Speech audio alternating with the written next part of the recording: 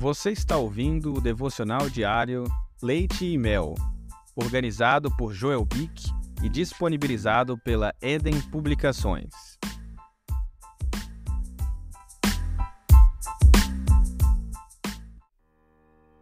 Dezessete de agosto.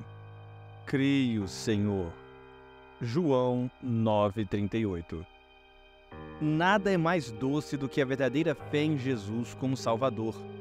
É o que vemos na confissão do cego que forma nosso texto acima. Este querido homem de Deus havia sido recentemente curado de sua cegueira por nosso Senhor, e ele conhecia por experiência pessoal o poder de cura de Cristo. A sua fé simples contrasta marcadamente com a incredulidade dos especialistas religiosos que o interrogaram para saber como fora curado.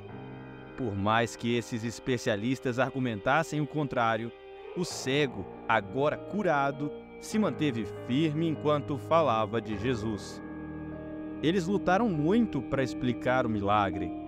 Ele argumentou diretamente que se Jesus não fosse de Deus, nada poderia ter feito. Verso 33. Por sua fidelidade, o cego foi prontamente excomungado e o expulsaram. Verso 34. Aprendizagem e conhecimento teológico, graus mais elevados nas universidades e seminários, leitura extensa e conhecimento de hebraico e grego são coisas excelentes em si mesmas. Mas melhor ainda é ter uma verdadeira, genuína fé em Jesus.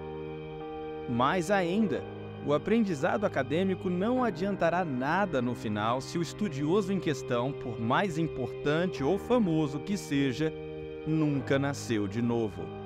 João 3:3. Que os estudiosos nesta passagem eram homens extremamente capazes e instruídos, não precisamos duvidar. Mas que eles não tinham a única coisa necessária, amor por Cristo e confiança em sua obra consumada, é muito óbvio. A fé em Cristo e o amor por Sua palavra, a Bíblia, são as coisas mais importantes na religião. Foi bem dito que Cristo foi crucificado em hebraico, grego e latim.